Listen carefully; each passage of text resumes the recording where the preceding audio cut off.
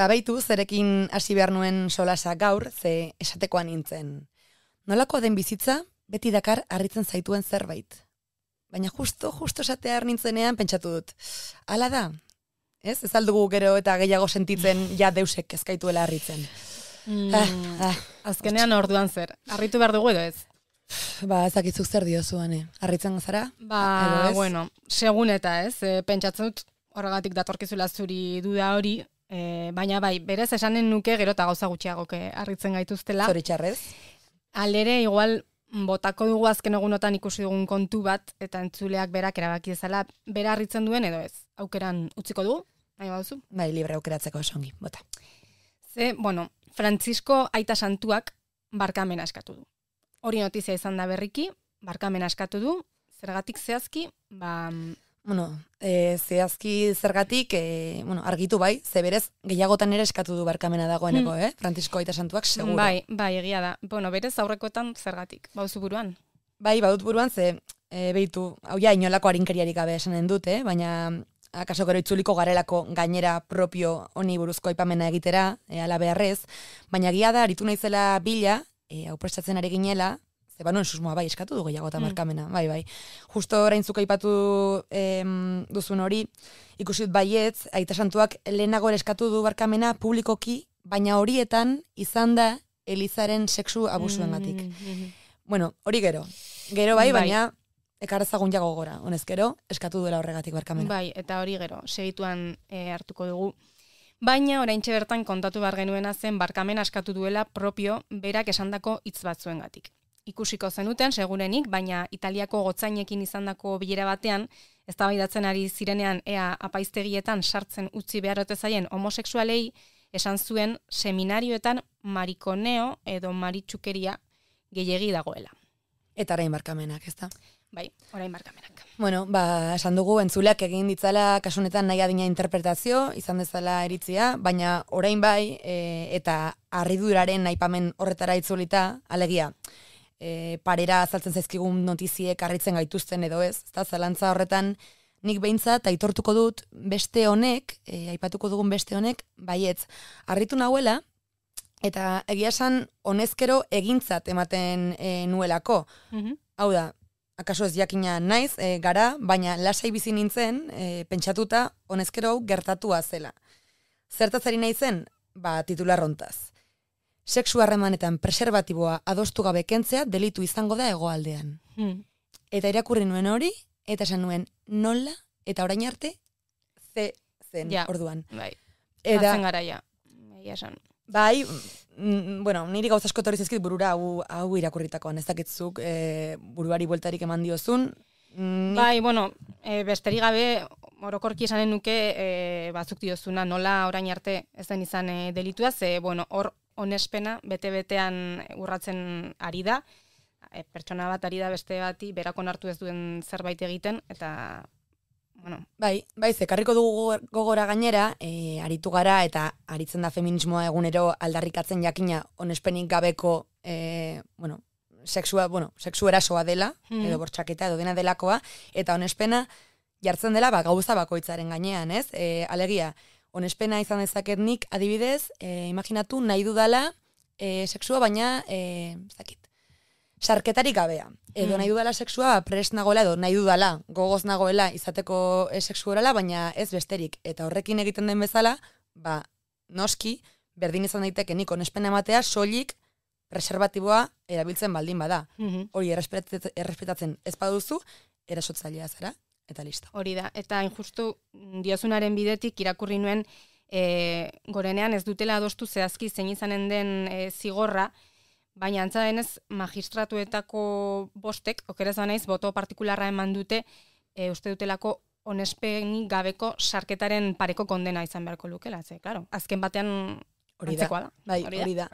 Eta beitu nik egia da, kontzeptuak ikasteko ere bagaudelako, baina honi, alegia, preservatiboa erabiltzea adosten denean, ura ez jartzeari, edo ezkutuan kentzeari, e, still thin deitu ah, diote, mm -hmm. beraz, e, mendik aurrera aurrerantzean ikusten baldin badituzue still thin e, delako hori aipatzen duten notiziak, ba horri buruz, hariko ba, gara. Eta harritu nintzen, baina posten naiz. Behintzat, bueno, nik uste baino beranduago, baina iritsi delako. Mhm. Bai, eta antza denez, e, datozen asteetan argituko da Mhm. kontua, zehazki zein den e, epaia, eta, bueno, ba, ba, ea, zer dioten. Ba, bai. E, ba, bueno, beitu, mm, dei diezaiogun sinopsi, nahi bada spoiler, baina aurreratuko dugu saionetan nahikotxo mintzatuko garela onespenik gabeko ekintzez. Alegia, sexu erasoez. Berria FM. Berria FM. Spoilerra diot, ze Elizari buruz hitz egin dugu, aita santuaren hitzak ekarri ditugunean, eta sexu erasoak ere aipatu ditugu, eta ai, ez zaigu oso arraro egiten bi gauza hoiek, Eliza eta erasoak elkarrekin aipatzea. Ez zaigu arrar- arraroa ez, e, zoritxarraz, esanen nuke, ez ez zarri eta garbi. Eta gure harritzeko gaitasuna gero eta txikiagoa dela dirudi, ala esan dugu, baina hori bakarrik ez, albiste batzuetara edo hitz jakin batzuk daramatzaten albistetara behar baino gehiago ohitu garela ere iruditzen zait. Ba bai, e, irakurri eta irakurri aritzaren poderioz, e, dagoeneko enegarrenez aditu ditugulako alakoak, ezkara, batere harritzen. Eta esanen nuke Elizaren sexu erasoen notiziak jada zaizkigula arraroak egiten, baina guztiz eskandalugarria da zenbatetan iristen zaizkigun alakoak, zenbat kasu dauden baita gurean ere. Baita gurean ere hori beti aldiro nabarmenduko dugu ezkarelako burbuja batean bizi bat ere. Eta bai beitu, e, datu bat ere emanen dugu hori berresteko, argudiatzeko.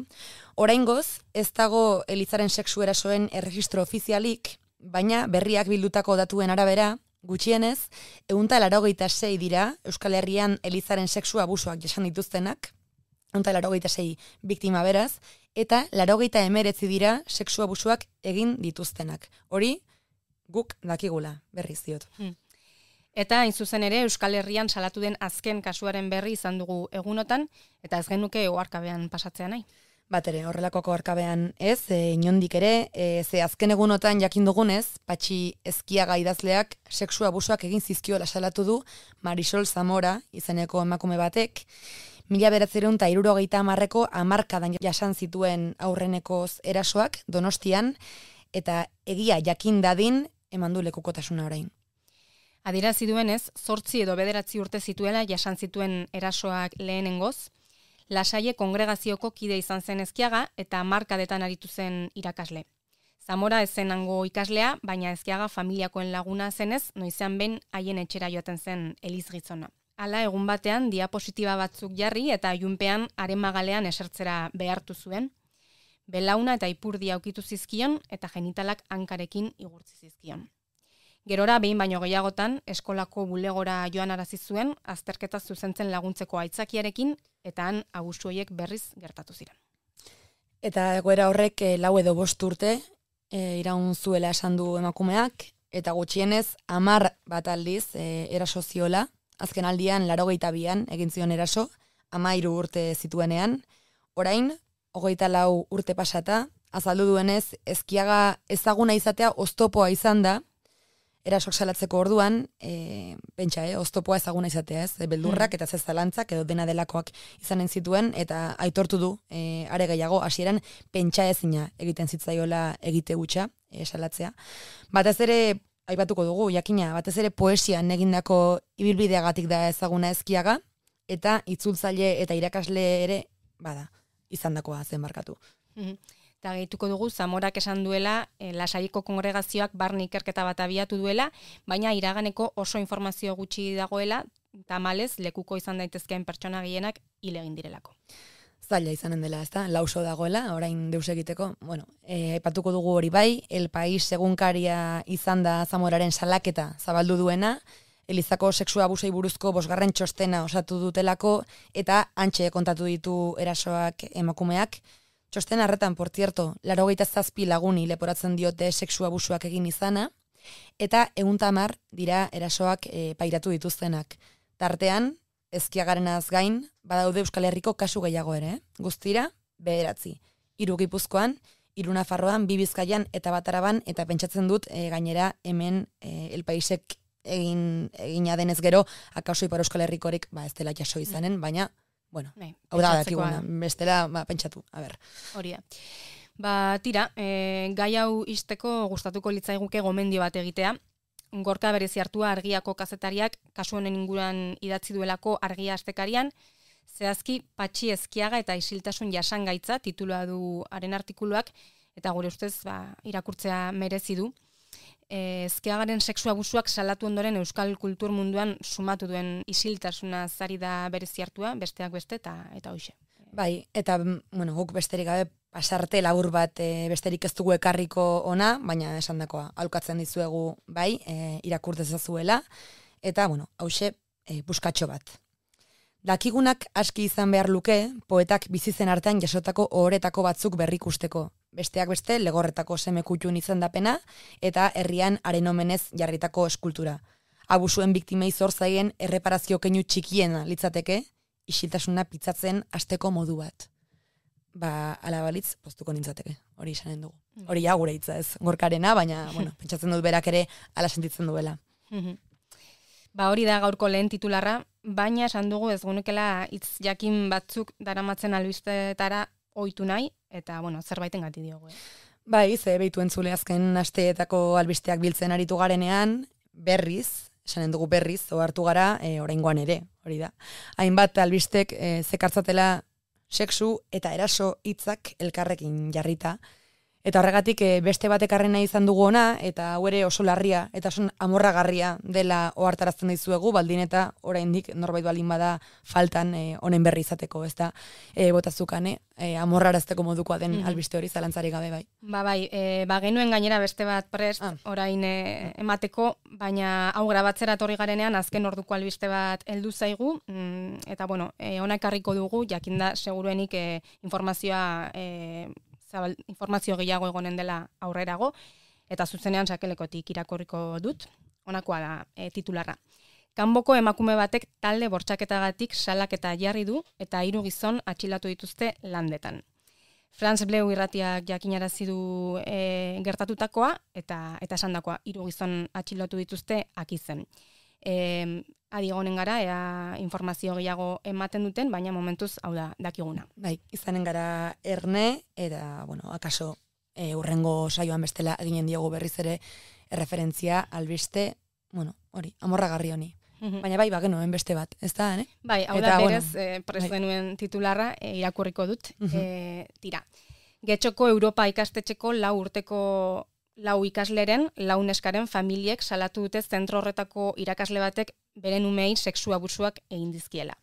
Ertzaintza ikertzen ari da, sexu askatasunaren aurkako delituak egin ote dituen eta ikerketa zabalik dago salaketa gehiago egon daitezkelakoan. Beraz, sexu eraso gehiago. Bai, eta zehaztuko dugu eh, honen gaineko lehen salaketa maiatzaren hogeita bian jarri zutela, ume horietako bat ospitalera eraman zuten, neskak mina zuelako gorputzetako atal intimoetan, eta bai, bai ez zieten sexu erasoen zantzuak zituela, neskak, umeak egunak zeramatzan eskolara joan egetzuela esaka, eta gainera, bi egunetan barruko arroparik gabe itzuli zen etxera ikastetxetik, bueno, hau irakurtze hutsa, ez da bada, Mm. bueno, gorputza, e, bueno, azte gorputzaldi zen duen, ez da? Bueno, arroparik gabe, barruko arroparik gabe itzuli zen ikastetxetik, amak eskolari jakinarazi zion, eta hartzaintzan salaketa bat jarri zuen, eta ondoren beste hiru ikasleren gurasoek ere salaketa jarri zuten, eh? Eta kasu guztietan, neskatoen sintomak eta kontakizunak antzekoak ziren. Irakasle hau, ingeleseko irakaslea, hogeita hamar urte inguruko gizonezko bat da, hiru ikasturtetan aritu da Europa ikastetxean lanean, hasieran ba, kasu jakin batzuetan, baina aurritik jada modu erregularrean, eta orain baztertu egin dute eskolatik, eta kontua larria eta morragarria da bere horretan, baina gainera ez da ora maitzen. Ez, ez da horra maitzen, ze are okerragoa izan daiteke, bai, e, ze kontua da, gurasoek salatu dutela getxoko eskola berandu aritu dela hauzi honetan, eta saiatu dela gertatutakoa estaltzen nola bait. Eta zehazki, eite berri egindako adierazpen batzuetan ikusi dugu, salatu dutela hori, e, ama horietako batek esan du eskolak, pentsa, eh? Iraiaren amabostetik zeukala gertatutakoaren berri, orduan txe esan baitzion ikaslearen tutoreari neskatoa, ba, hoxe, atal intimoak gorriturik itzultzen zela etxera, baina guraso horren arabera, ikastetxearen erantzuna izan zen neskatoa ongi hartaturik zegoela, e, dena ongi zegoela eta ez zeukala kezkatzeko arrazoirik. Beraz, esanen dugu guk hau, e, honezkero, hemen igual e, komeni da berriz nabarmentzea, ze aixe jartzen diren auzitan, ez, e, biktimen testigantzak, e, salaketak, alako kesak, eta, bueno, biktimak ez direnean, ba, adibidez, kasu hontan aurrak dira, ba, baita ingurukoenak ere. Ez da, Mm. bueno, oro salaketak ze aixei altzen diren auzitan. Eta hemen adibideetako bat. Bai, bai. Oso fuertea da Augustia, egia esan, em, orain ikusi beharko da nola bukatzen den, kontua, ematen duelako bakasu gehiago aterako direla, eta bueno, ea zer gertatzen den azkenean eskolarekin ere, ea egia ote den, ba, gertatutakoa estaltzen aritu dela. Bai, eta ikusiko dugu, adi jarraituko diogu horri ere, baina esandakoa esanen dugu lasai asko, zen azka ze mina eta ze amorrua, beraz, aski da. Berria FM. Berriako podcastari gisa. Berria FM. Ba, gauza bat esanen dizut usue, bueno, jakin badakizuna, hobe duzu aserre hori gehiegi ez apartatu, gaur izpide ditugunak ikusita, iruditzen zait segituan etorriko zaizula berriz bueltan. Bueno, ja, bai, baina ezkezkatu ze beste zerbait sentitu nahiko banu, akaso ez nuke zuzenen joko podcast honetara, edo ez behintzat beti, tarteka bai, edo beki esan da, e, bueno, gaierosoak badira edo non, eta besteetan amorrarazten gaituzten horietan ere sartu behar da muturra, beraz hortako Mm. presnago gaur ere. Bai, bai, noski alabe harrez eta eta eskerrak. Bestela aski genuke gai batzuk kasoietan gorde eta hautsak hartzen uztea. Bai, ba, genuke, baina ez dugu eginen ez. Ez. Ba bueno, e, hemenoteka lana eginen dugu eta horrekin erraz ailegatuko gara behar dugun helmugara.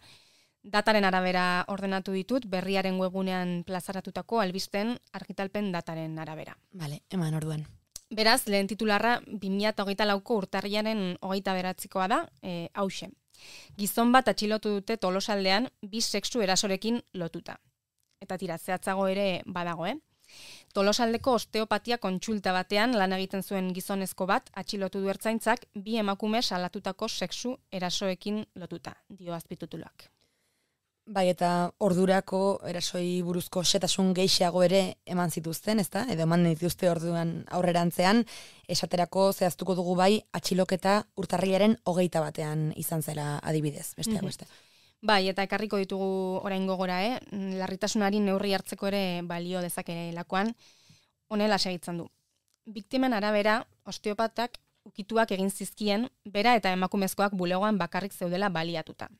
Bi kasuetan, erasoen ustezko egileak hasieran masajea eman zien bizkar, lepo edo gerrialdean, baina handik gutxira gizonaren manipulazioa eremu intimoetara iritsi zen inolako baimenik gabe.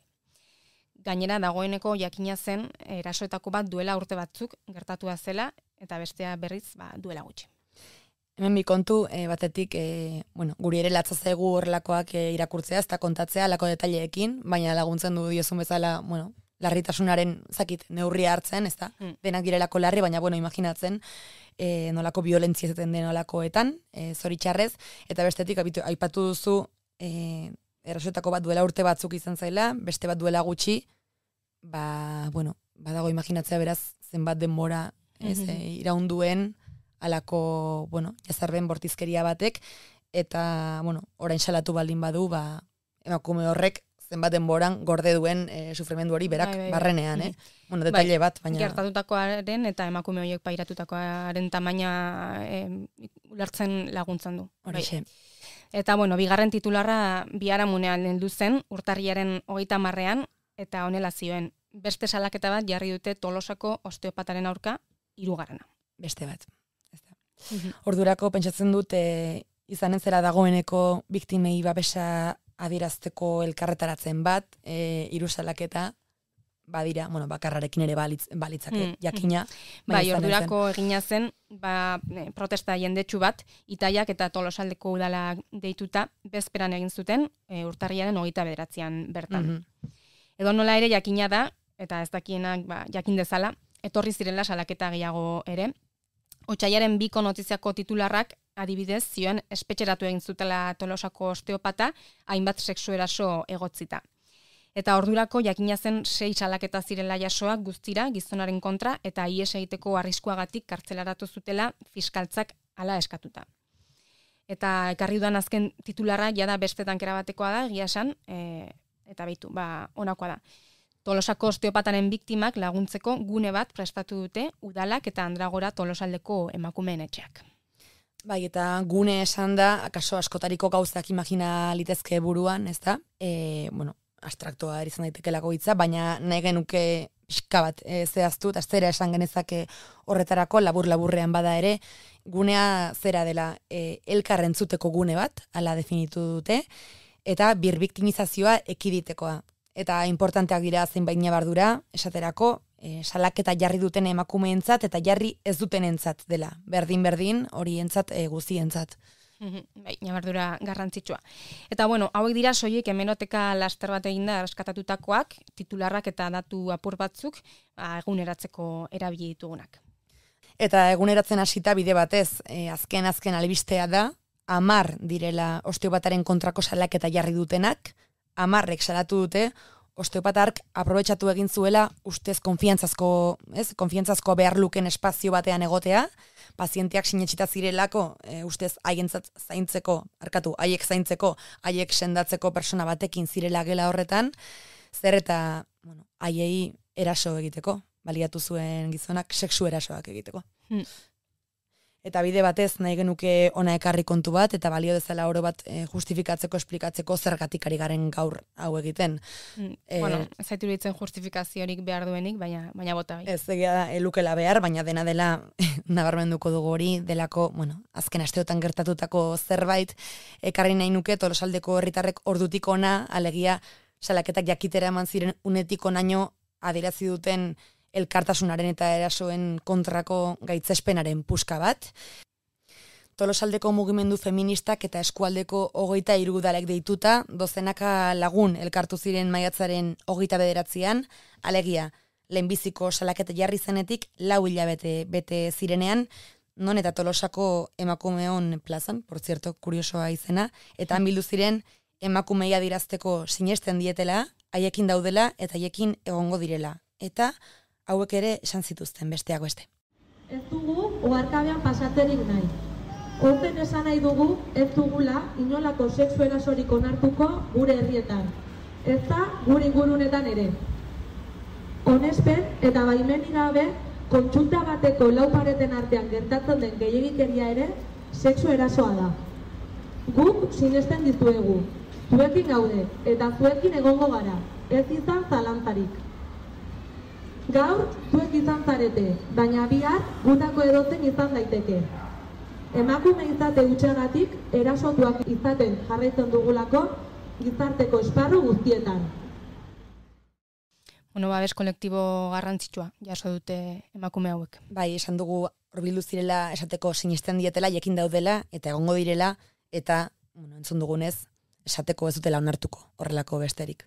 Hori da, eta, bueno, hauzia ez dela individuala kolektiboa baizik gizartearena.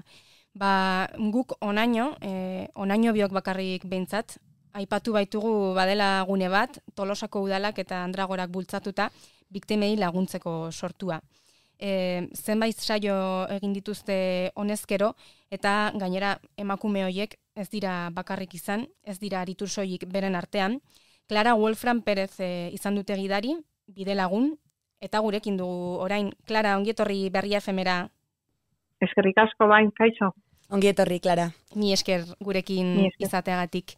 Em, azaldu dugu tolosako osteopataren biktimak laguntzeko gune bat sortu duzuela herrian, hain zuzen ere andragora emakumeen etxean, han aritu zarazu biktima hoiekin saioak dinamizatzen, Eta hasierara joan ez, konta iguzu, nola sortu zen egitasmo hau eta zein izan da bidea espazio hau e, sortzeko? Ba, lehenengo gauza izan da, ba, berria, berria atera zala ez da, ertzentza berak esan da, ba, salaketa batzuk bazirela, eta gero prentxan ere agertu zen, ba, salaketa gehiago, gehiago, e, egon zirela, eta orduan, ba, bai udalaren partetik berdintasun atala, bai Andragora dala Tolosaldeko emakumenetxea, elkartu ziren e, ikusteko aber zer egiten altzuten e, emakume hauei nolabait e, babesa eta espazio bat eskaintzeko. Batez ere emakume hauek elkarre zautzeko eta bueno, horrela sortu zen ideia, ba, elkar entzuteko gune bat sortzea, eta hor kontaktatu ninduten neri, e, ba, olako gauzetan aritzen naizela, eta la, eskatu ziaten nolabait, ba, ba hori, hori akompainatzea, prozesu hori akompainatzea. Mhm. Eta mm, nolakoa izan da edo nolakoa izaten ari da prozesua? Ba, egia esan oso berezia, zenik eh, horrelako zerbait hain zehatza egoera zehatz baten inguruan ez nuen inoiz egin, ezta? Eta ikusten ari naiz, ba, hasiera batean, e, bueno, mina eta, eta bueno, baita ere igual e, deskonfiantza edo lotxa nagusitzen zala, eta une honetan, ba, bilera gutxitan egia esan kriston alduntze prozesuaren testigo izan naiz, e, hola sentitzen dut oso prozesu polita elkar babesten eta elkar laguntzen eta eta adierazten bat zer behar duten. Mm -hmm.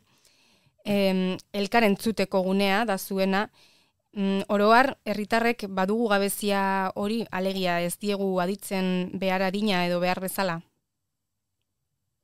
Bai, nik uste dut gauza asko oso azkar aditzen ditugu egunean zehar, e, burua dakagula mila tokitan, eta gauzak oso azkar egin nahi ditugu, eta bizi garen, ba, garai honetan, egia esan denbora bihurtu dugu zerbait e, in, ailegatu ezina, ez gara ailegatzen nola baiten denbora izatera e, norbaiti lasai entzuteko, eta aldiz denbora pila bat jutzen zaigu, ba, muiko arrari begira, osea, que bai, ez da, ez da momentu oberena, egia esan gure historian elkarren zuteko.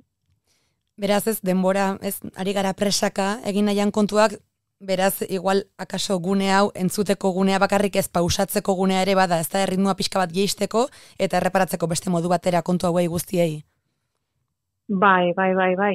Eta horretan, ba, bai gidatu ditut adibidez, ba, hasiera batean igual meditaziren bat, erlajaziorako, ez hau eramateko hain maila sakonean, baina mm, ba besteri gabe baretzeko eta benetan denbora hori hartzeko harretaz elkarri entzuteko, emozioak adierazteko eta eta norberaren historiak ere ba adierazteko. E, pentsatzekoa da nork bere bidea eginen duela alako violentzia baten biktima izan ondotik, ordea taldean egiteko parada eskaini duzue Andragoran, Beraz, e, zergatik modu kolektiboan, zer dakar biktimarentzat individualetik e, kolektibura pasatzeko urratxorrek? Ba, nik uste dut balio handia duela, zeren gutako bakoitzak imaginatu zuri gertatu zaizula hau, ez? Batzuk sentituko zenuken edo nik sentituko nukena lehenengo momentuan da, ai ba, hau nere bizitzen gertatu da, nere, nere bizipen bata. Eta bakarrik haudenean horrekin, ba, sortzen dira, ba, ez dakit galdera naiz absurdoak izan, ba, hau neri zergatik gertatu zait, nik zer egin dut, e, zer dakat nik neri hau gertatzeko. Eta, bueno, ba, elkartu garenean taldean, ba, elkar ikusten dugu, eta norbera hartzen da, ba, ai ba, hau zait neri bakarrik gertatu. Hau frentean dakadana emakume bani ere gertatu zaio, eta ondoan dagoena ere bai. Eta orduan, besegitin dira ideia horiek, hau da, neregatik edo neri zergatik gertatu zait, ez ez.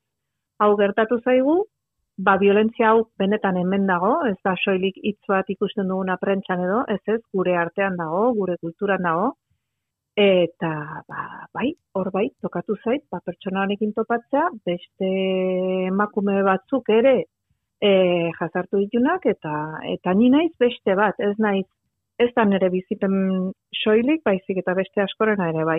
Eta hor, konversazio horietan, elkar ulertze horretan, e, empatia horretan, ba, sortzen da alduntze bat. Ze, ohartzen gara, e, gertatu zaigula, e, hau, emakume hori gertatzen zaigulako e, gizarte matxista honetan. Empatia ipatu duzu ez da, eta e, akaso biktima izen denak nekez aurkituko du beraz, e, alako empatia maila bat, beste, bat, beste espazio batzuetan, ez da, saiatuta ere, akaso inguruko saiatuta ere, eta akaso ez bagara izan horrelako zerbaiten biktima, nekez lortuko dugu alako empatia harreman bate eraikitzea, ez bagara, ez dakit, e, gauza beraren biktima izan, edo, nola, igual, maila diferente batean, ez, e, ulertezak egu ondokoa. Bueno, fijatzen bali maztea, Dagoenean violentzia bat, izan daitek kasu honetan da violentzia matxista eta sexuala, baina izan ziteken e, beste violentzia mota baten biktima izatea, edo beste gaitz baten biktima izatea, ba, elkartzen garenean bizipen aman komun horrekin, naiz eta bakoitzaren bizipena igual ezberdina izan, ba, min hoiek azaleratzen di- dira batera, eta hor egia esan zerbait magikoa gertatzen da. Hor eh, elkarru lertze bat suertatzen da, igual hori bizitu ez duen batek, bueno, ba, ulertu dezake, bai, noski, eta empatizatu dezake, baina igual ez da e, nolabait osatze berdina gertatzen. Ez, Mhm. mi, violentzia horrek sortu dizu min bat, sortu dizu zauri bat, zentzu askotan, zure konfiantzan, zure autoestiman, eta horrekin zoaz, ez da? Ba, guzti horrekin, eta hori konpartitzen duzunean beste emakumekin hartzen zara, ez dakit, ez zaudela bakarrik, baina ez soilik entzun da baizik, eta ez da ere bakarrik bizipenarekin. Beitu bere helduko diegu aipatu duzun e, zauri horri ez da osatu beharreko kontu horiei guztiei, baina lehenbizi baineko genukela nabarmendu e, ikusi dugulako Klara, nabarmendu duzu ezuek, e, honetan parte hartzeko, dinamika honetan parte hartzeko, etzela ezinbestekoa salaketa jarri izana. Ez da, ze garrantzia du, ze garrantzi du hori aintzat hartzeak. Salaketa bai edo ez, hori norberak erabakita, baina berdin dutela eskubidea hemen parte hartzeko. Bai, oso importantea da hori argi adieraztea. Bai, ez da, salaketa bat jartzea ez da soilik salaketa bat jartzea da. Mm, e, zuk momentu horretan erabaki bat hartzen duzu, urratxo bat ematen duzu, eta batzoaz epaitegi batera, edo batzoaz ertzantzaren gana, edo daltzainen gana. Baina gero, prozesu bat martxan jartzen da. Prozesu judizial bat martxan jartzen da.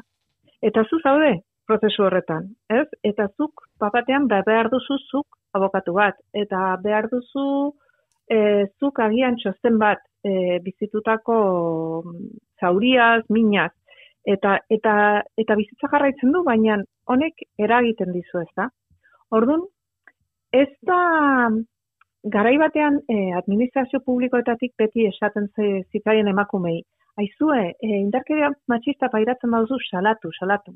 Eta salaketarekin batera etortzen zen babesa. Oain ez. Oain, salatu ala ez, salatu, administrazioak batu bet, badu bete behar bat dala, e, babes eta zerbitzu berdinak eskaintzea emakumei, bai, e, indarkeria matxista pairatu duten emakumei. Eta, eta importantea da, ba, danak, danak barne egotea, ez soilik salaketaren urratsa ematen duena. Gero, kasu honetan bereziki, ba, egia esan importante izan da salaketak egotea, bai, egongo, egongo ziren igual emakume asko, hau bizitu eta ez dutela salatu. Baina batzuk salatzeak ekarri du e, egoera hau nun badakigun gizon honek e, momentuz eta ziur luzerako ezin izango dio beste emakume bati e, hau berriro egin. Beraz, salatzeak ere ba, ekartz, ekartzen du onura hori denantzako, ez da? Badakigu gure herrian hau ez dela behintzat kasu honetan gehiagorik gertatuko, kontsulta honetan gehiagorik gertatuko, eta eta ez da bakarrik balio bat niretzako pertsonalki salatu duenarentzat, ez da, baizik eta oroar emakumentzako. Mhm. Diozunez bai zorionez salatu dute eta naiz eta seguruenera, bueno, e, zenbait emakumerentzat zaila ere izan daitekeen prozesu judizialat basatu beharra, ez? Kasi segurua baita edo zoritxarrez ohituak baikara ikustera nola seinalatuak izaten diren emakume horiek, e, bueno, egungo justizia sisteman, ez da? Prozesuak ez dira, bueno, e, beti atxekinak, jakina. Eta alduntzea hor, alduntzea hor berezik izanen da giltzarri. Bai, bai, bai, bai, indartu behar da, gero jun behar zara, ez da, eta topatuko dituzu, sinistu dizuten pertsonak eta sinisten ez dizuten pertsonak. Azkenean, e, epaitegiak e, pertsonez osatuta daude, eta oroar gertatzen da, indarkeria matxistarekin eta bereziki nolabait erem, eredu, eremu intimoan edo pribatuan, eta bueno, azkenean konsulta bat pixka bat sentitu dezakegu horrez, ez zaitu inpestinorki ikusten, ba, gertatzen denean olako espazio batean, badirudi oraindik prejuizio matxista bat badugula, zalantzan jartzen da emakume horren hitza. Mm? Ea egia izango den, ez den egia izango. Zalantza hauek batzuk adieraziko dituzte. Eta batzuk ez dituzte adieraziko, baina prejuizio hor eukiko dute buruan. Ez? Eta prejuizio matxista bada, baina egon, daitez, egon daiteke emakumen buruan, gizonen buruan, zezkenean mentalidade bada. Orduan, e, jo, ba, importantea da indartzea, eta importantea da ere zeure burua babestea, zuetzara bakarrik em, egoera honen biktima bat, ez? Zuk daukazu bizitza bat, zuk aurrera egiten duzu zure bizitzarekin, eta hori dana, babestu behar da, prozesuak irauten duen bitartean, eta iraun dezake igual pare bat urte, auskalo, ba, ba babestu behar duzu zoru burua. Diozun bezala, osteopata baten kontxutan izan dira eraso hauek, osasun langile batek egin ditu, eta pentsatzekoa da lako espazioetan, ba, lausoagoa izan daitekeela muga, identifikatzeko zer den eraso bat e, eta zerez. Beraz, alde horretatik kasu honetan, kontuan izan da nola gertatu diren erasoak, biktimek sentitu dute beren hitza zalantzan jarri dela bereziki? Bueno, biktima batzuk, bueno, nik ezagutu ditudan batzuk, eh, argi sentitu dute babesa edo lagunen aldetik edo familiaren aldetik, beste batzuk ez, adibidez, hori ere gertatu da, eta gero, e, noski, nola ez diran kaletik ibiltzen kartel batekin ni, ni bik, oietako biktima bat naiz, ba entzute dituzte komentarioak, ez? Herrian egiten diren komentarioak eta bar eta ba sentitu dute, ba hemen e, pixka bat gai honen inguruan sensibilizatu behar da, zeren prejuizioak badira, beti egon dira, bai? Beti egon dira, bereziki indarkenia matxista sexualaren inguruan, beti egon da olako ideia bat, oso matxista dana, dala, bueno, honek ze, baina nola juntzan, nola juntzan mm jantzita edo, ze, nola adieraz izan edo, badirudi beti emakumeok akagula e, gize, e, indarkeria matxistaren errua, eta ez da horrela. E, indarkeriaren errua dauka indarkeria eragiten duena. Bere, bere ardura da hori egitea. Guztiz. Baina hor dago etengabe kuestionamendua ez da. Eta, bai, mm, eta ez bakarrik kasu honetan, eh? oso orokortua da, hori mentalidade kontua da. Gainera, kasu honetan erasotzaileak baliatu du emakumearen eta be artean konfiantzazko harreman bat edo zegoela ezarria e, aurrez. Pentsatzen dut alako baten biktima izan denari gertadakiokela hain zuzen konfiantza hori galdu izana e, akaso orokorra da, baina gerta daiteke garatzea preseski osasun langileen ganako mesfidantza, eta alaba da egin behar da zerbait zehatza? Begira, zuk sentitzen duzunean, e, erasotuak izaten altzarela, horrek auskortasun sensazio handie bat sortzen du.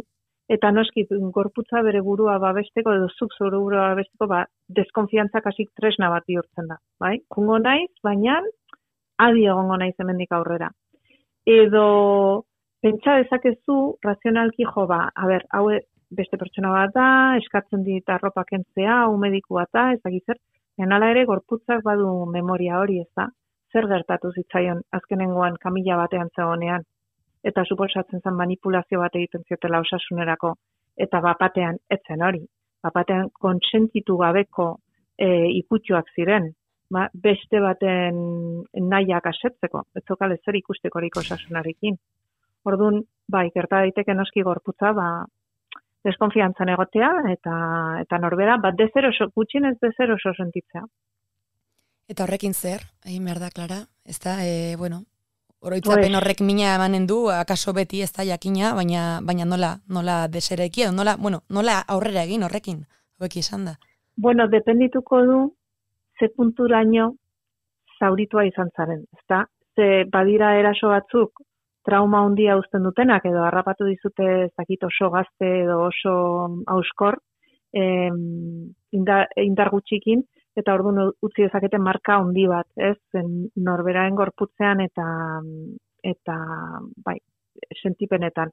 E, beste batzuentzako, ba, bueno, ba, izango da prozesu bat, baina ez dula bereziki igual terapia bat behar, baizik eta e, besterik gabe alduntze kolektibo baten bitartez, ba indartzen zea eta eta ez dizu agian hain sakonki afektatzen. Ba, pertsonen arabera, bizipenen eta pertsonen arabera izango da, eta zer behar duzun, ba, izan daiteke laguntza e, terapeutikoa, baina izan daiteke osatzea sentitu duzulako, bueno, pues, zure alduntzea eta sentitu duzulako babes, babes soziala.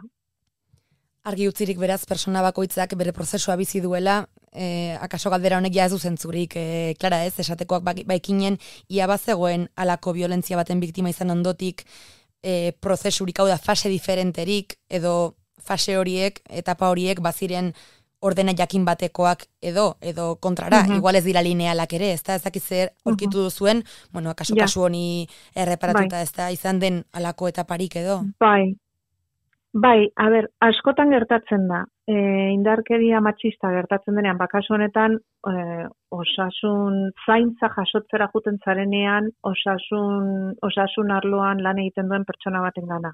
Mm?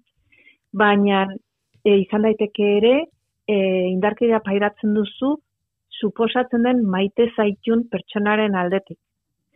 Lehenengo reakzio normalean izaten da ezin dut sinitxi. Ezin dut sinitxi hau gertatzen ari zaidan. Ze, edo hau da osasungile bat, edo hau, orduan ez da logiko hau gertatzea, edo hau da ni maite nauen pertsona zergatik egiten du hau, ez? Dago, zailtasun bat hori hori ulertzeko noski, logikoa denez, ze kontrajarritako ideiak dira, ez? Desajuste bat bezala da. E, gero, gerta daiteke, momentu ere beldurra handia sentitzea. Ze ohartzen zara, pues, kasu honetan adibidez, ba, zaudela konsulta batean, bakarrik berarekin, kamila batean, edo in, demagun e, indarkea pairatzen, zula zure bikotearen aldetik ere beldurra sentitu dezakezu. Mm? Bapateko bel, indarkeria hori hain fuerte izateagatik, ez? E, askotan gertatu izan da, bereziki harreman eta gertatzen da bereziki zure harreman pertsonalak direnean lotxa sentitzea. Nola da posible hau gertatzen ari zaizula, zuk aukeratutako pertsonarekin, edo edo zuk aukeratutako osasungilarekin, bai, lotxa sentitzea. E, errua ere bai, nahiko irrazionala da, baina sen, sentimendu bat, niri hau nola gertatu zait, ni, ni nola sartu nahi hemen, ez? E, zergatik gertatu zait. Hor, sentimendu nasketak gertatzen dira, ez? Importantena da, eukitza espazioa non seguroa sentitzen zaren hoiek adierazteko. Bai? Ze sentimenduak edo emozioak kanalizatzen direnean, ekspresatzen aldirenean, ja pixka kanporatzen dira gorputzatik, kanporatzen dira gure bakardadetik, eta eta beste forma bat hartzen dute, eta igual transformatzen dira. Mm? Eta kasu honetan adibidez, pues igual transformatzen da aserrean, aserrenago, ze hau etzan gertatu behar, ez nire gorputzak ez zuen hau bizitu behar. Eta, eta aserre hori indarra bihurtu daiteke. Bien indarra adibidez, ba, ba aurreko unean bezala, ba bueno, ba mobilizatzeko herrian sensibilizazio bat, konzentrazio bat, eh, indar pertsonal bat ere bai aurrera egiten dut prozesu judizial honekin. Jakin da suposatuko didala, ez da koste bat, baina bueno, pues aurrera egiten dut. Bai, aurrekoan herrian egin zen elkarretaratzea aipatu duzu, eta hain zuzen ere inguruaren eta gizartearen babesa oso garrantzitsua da olakoetan, kasu honetan e, tolosaldeko mugimendu feministak deituta eta besteak beste hogeita hiru udalerriren e, atxikimenduarekin atera ziren kalera, e, babes garrantzitsua izanen zen hori pentsatzen dut biktimentzat, baina edozein kasutan hilabeteotan prozesu honetan emakume hauek babes soziala jaso dutela sentitu dute, ala dirazi dute? Bueno, babes sozial, eh, une batean, hasiera batean egon zen konzentrazio bat, ez da? Mm, oizkoa dana eh, indarke mugimendu feministak eh, deitzen duena, eta uste dut eh, udalak ere parte hartu zuela, ba, indarkeria matxistaren kasu larri bat agonean, ez da, ba, egiten diren konzentrazio horietakoa. Baina, klaro, gero, gaia pixka bat e, berrietatik desagertu zen, e, beraientzako denbora guztian hortzegon, ba, ea zitazio bat badudan, ea zerbait egin behar dudan, historia honekin, mm, gure artean ere hitz egiten genuen, ez da taldean e, egoeraz, baina kalean etzen ezer sumatzen, etzen mugimendurik sumatzen ezertan. Ordun bai sentitu dute, jo, ba, guk behar dugu sentitu herria gure, gure aldeagola, eta gai hau soziala dala. Ez dala bakarrik gure gaia, ez? Eta egia da. Indarkeria matxista, danai, danai dagokigu honen inguruan edo honi aurre egitea eta uh, babesa eskaintzea ez, ba, eh, indarkeria pairatu dutenik. Ordun bai, oso importantea izan da du igual gertatzeko, baina gertatu da, ez da, ba, mobilizazio hori eta eta oso eskertua da nik uste dut eta jarraituko du, espero dugu. Importantea bildu izana, klara, eta importantea e, baita ere bertan mm, bueno, ozendutako leloa, bera ez da? Nik sinisten dizut, guk sinisten dizugu. Eta ari gara Bai. eta berriz ez da aldarrikatzen e, zeinen importantea den biktimek sentitu dezatela sinisten diegula. Bai, zeren importantea beraientzako, baina importantea da zuretzako, niretzako, zergatik. Ze galdetuko bagenu, a ber, zenbat emakumeek esan dezakete ez dutela inoiz jazarpen sexuala sentitu, bizitu, ez uh, intensia handikoa edo txikikoa, esan e, hau importantea da gai honen inguruan sensibilizatzea, ze hor dago, gure munduan dago, eta hitz egiten dugu beste bortizkeria motetaz, gerretaz, eta bar, ba, honetaz ere hitz egin behar dugu. Eta gero eta gehiago hitz egin, gero eta gehiago kontzientzatuko gea, ez? Ez dugula honen beharrik. Baztertu behar dugu hau ja gure, gure mundu honetaz. Eta kaso hitz egiten dugun modu berean, ez da, e, bueno, erasoaz, e, gertatu den horretaz, erasotzaileaz ere akaso hitz egin beharko genuke, eta horri ere, heldu diozue tolosan, e, izan ere, apirilaren amabian hitzaldi bat eman zenuten, e, norma bazkezek gidatua, eta izenburua hause zuen, nik sinisten dizut, erasotzailea ezagutzen ez dudan bitartean. Eta hori ze importantea, ez da, e, bueno, jakin badakigulako, edo hala ikusten dugu egunero gure inguruan, erasotzailea ezaguna denean, e, laguna denean, e, auzokidea denean, mm, ez dakit kuarriakoa lengusua, areta komplexuago bihurtzen dela, ez da, ematen du, e, gaitzespena bera. Bai, bai, eta ez da gertatzen beste gauzekin, esan nahi zure lengusuak moto bat lapurtu baldin baduzu du, pues moto bat lapurtu du, ez da? Ez duzu zalantzan jartzen, jo, ba, ba normala da, e, berak, bueno, ba, prozesu bat izatea, eta bar, baina aldiz, e, olakoak gertatzen direnean ikusten da oraindik ba, askotan, babesten dala, e, empatizatzen da erasotzaiarekin, bueno, garai batean ere, ba, prentxan, noski, eh, erasotzaileak beti agertzen dira, ba, jo, arazoak dituzten pertsona bezala, zailtasunak dituzten, eta bat, ez da, eh, badirudi, bueno, egoera individual bat ala. Ba, normak asko azpimarratzen zuen norma bazkez, eh, psikologoa dan eta oso aditua gai hauetan, eh, norma bazkezek azpimarratzen zuen, eh, hemen egin behar dana, da biktimari, osea, emakumeari sinitxi, e, babesa eskaini, laguntza eskaini, eta isolatu behar dana da erasotzailea, bai? Osea, eukiko ditu beste zaugarri batzuk bere bizitzan, ez direnak, e, igual zoragarriak direnak. Igual osteopata oso osteopata hona zan, auskalo, bere, bere beste jardun batzuetan, bai? Baina e, isolatu da bera, ez biktima, eta askotan kontrakoa gertatzen da, biktima gelditzen da isolatua, eta erasotzaia ematen du erasotzaia dela biktima, eta ez da. Eta in zuzen ere, ba, babes eta laguntza hori eskaintzeko, e, biktimei eskaintzeko espazio hau e, sortu duzue, eta, bueno, ba, eskertzekoa eta eta txalotzekoa noski, eta eskertzekoa ere, ba, ba gurekin egon izana, eta azalpen guzti hauek e, eman izana. Mi esker, Clara Wolfram gurekin izateagatik. Zuei, zuei, honi zera, bai, reperkusioa emategatik eskerrik asko. Mi esker, Clara, izanen gara. Ongi izan. Bai, aio. Oraintxe, Clara Wolframekin komentatu dugun bezala, Tolosako osteopataren kasuan komunitateak eta mugimendu feministak argia dirazi dute sinisten dutela biktimen hitza, sinisten dietela, eta hain zuzen ere hori jarri dute protesten erdigunean.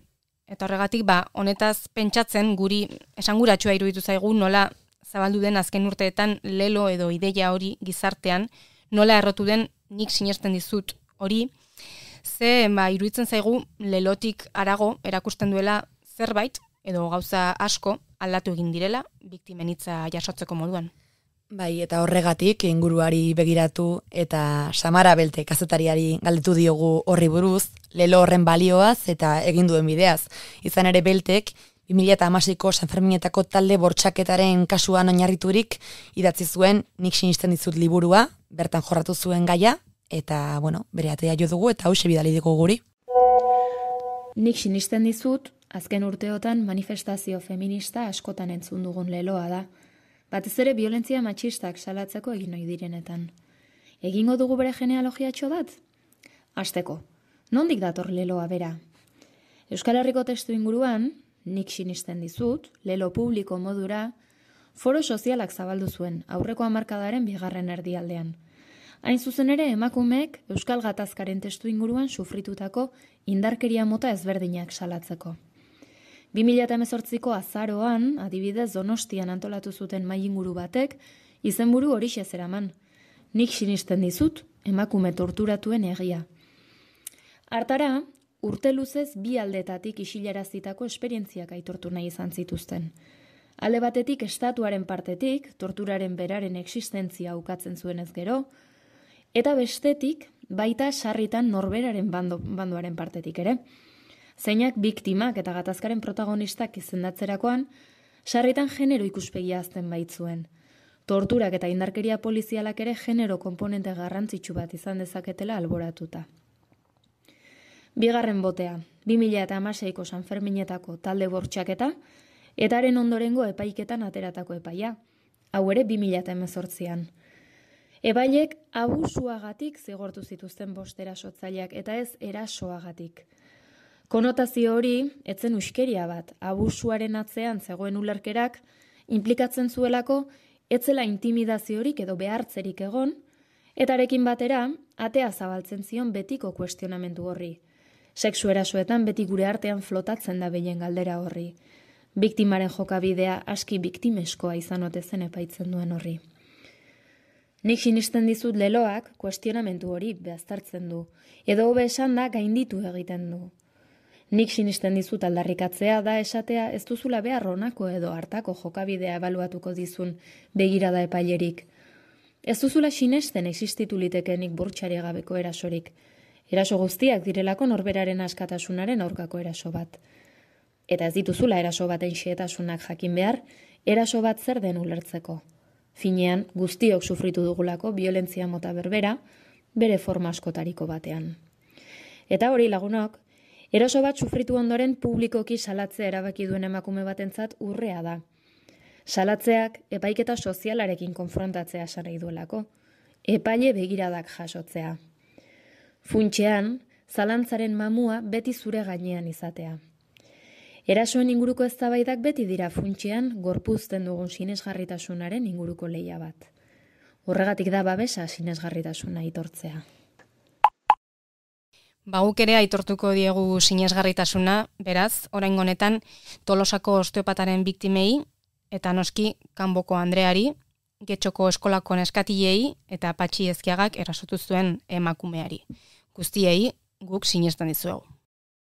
Guk sinesten dizugu ozen esateko eta erasoak eta sistema salatzeko egin berria laguna.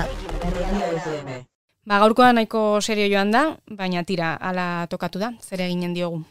Bai, ala gotera behartzen gaituzte, e, zenbat eraso, diogu astero, mm. ez da, e, kasik egunero, bueno, bestera esan da, beharturik aritzen gara, horrela, hain serio eta zorrotz. Hala ere, nola esan, e, argizpi batzuk bentzak ekarri dizkigute Clara Wolframek eta Samara Beltek bere hitzekin, hori ere hala da. Bai, eta noski, eta gainera, gogoraraziko dugu argi eta bero eta atxeden garai bat atorkigula orain, gu, guri, e, zuei ere espero baiet, entzule, udakero eta gertuago dugulako, eta deskansatzeko garaia izatea espero dugu, ezta? Bai. Patriarkatu seinalatzen ibiltzeak nekatzen du, eta... bai, eta indarrak berritu behar dira. Horregatik entzule, jakintzazu hau izan dela berria efemeren bigarren denboraldiko azken aurreko saioa. Oraindik badugu beste bat, baina maitzear gaude. Bai, ez da zara esaten eta bazirudien esan bazenola, hau zela azkena, ba ez, ez, azken aurrekoa, e, hemendik bihastera emanen dugu denboraldiko azken hori, bai? Ze fuertea, eh? Nola pasa den denbora? Bai, Alakoak kliskatu, begia kliskatu eta derrepende. Bai, bai. Ba, tirantzule, hemendik bihastera ere hor espero zaitugu, e, bitartean, ba, gozatu amaierara heltzen ari den udaberriaz. Muxu bat, ongi zan.